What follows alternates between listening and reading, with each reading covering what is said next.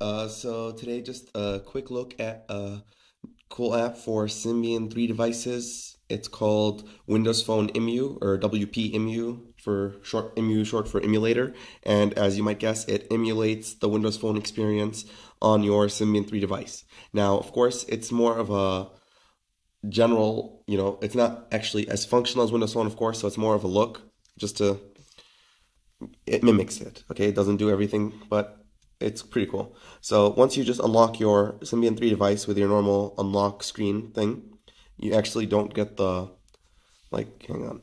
There is no Windows Phone slide up to unlock, but maybe in future versions. Anyways, so once you unlock, you get the normal Windows Phone Metro UI layout, and you can scroll up and down.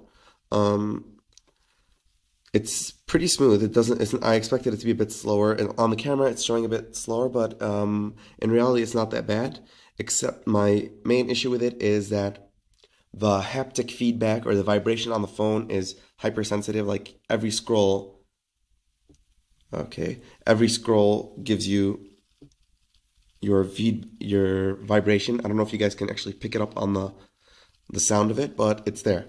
So, anyways, um, as you can see, it's basically just a bunch of shortcuts that are replace your home screen. So you have your call shortcut up here, which brings you the same dialer as your Windows phone. So let's just look at the dialers side by side. Sorry. So here are the dialers. Um, same basic look, you know, the same fonts or whatever. So that's pretty cool. And of course, it works normally fine exit the dialer. You have your people thing, which is, uh, see, this is where it gets a bit different than Windows Phone, is that these tiles don't actually take you to what it says. It takes you to shortcut lists of pop popular applications that are usually there on Windows on Symbian devices. So when I click on people, I'll actually get the option to go to my phone book, WhatsApp, Nimbuzz, or eBuddy. And then if you actually scroll to the right, which is like your um, normal Metro scrolling, sorry, you actually get the option for Facebook and you have popular Facebook apps such as you can see FMOB, Fascinate, Casvopis, or Facebook.com. And the same thing comes up with Gravity. So there are more like shortcut lists into your social networking and people thing uh, stuff. And once you click phone book, of course, you'll get up, you'll end up with your default Symbian 3 phone book. Now, if we go back, the there is the back button isn't consistent. So to go back, you press the Windows key down here. So just tap that, and we're back to our home screen. Messaging will take you directly to the messaging thread.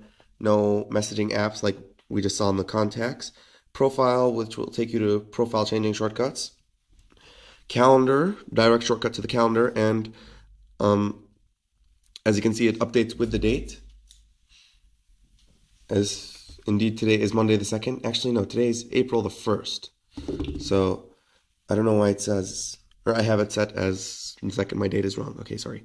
But so the date is interactive. It changes with the with the actual date. But the people tile is actually showing me fake people. I don't know if that'll change when you have contacts, but since my phone has currently no contacts on it, I'm maybe it's default images or maybe that's just the way it stays.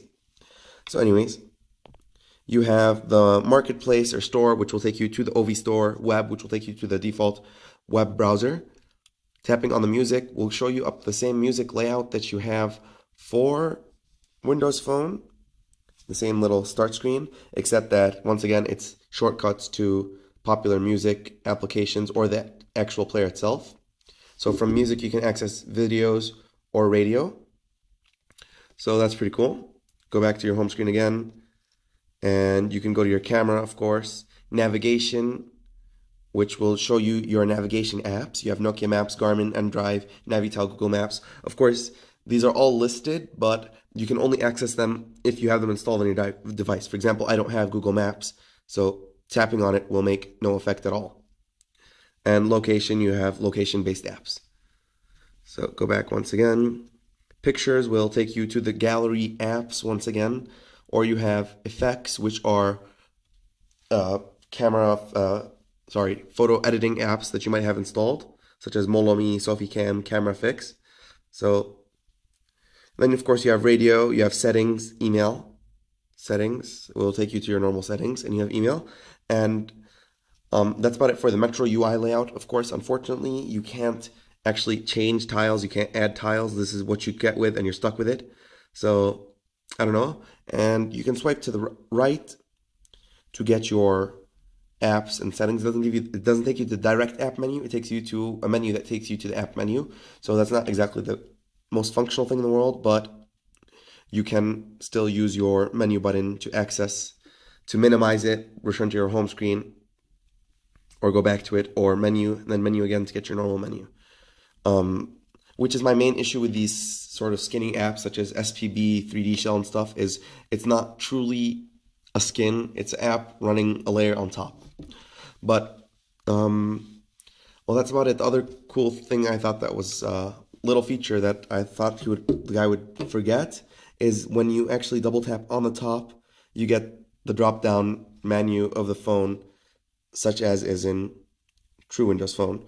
So that's a pretty cool feature to include. Um, it's uh, the app's called WP Emu, Windows Phone Emulator. It's by um, actually I don't want to say the name because I forgot it. We'll check it out right now. But right now you have the closed tile.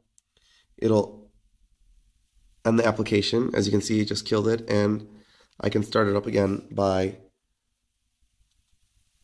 the shortcut, and it is by Xtron Studios.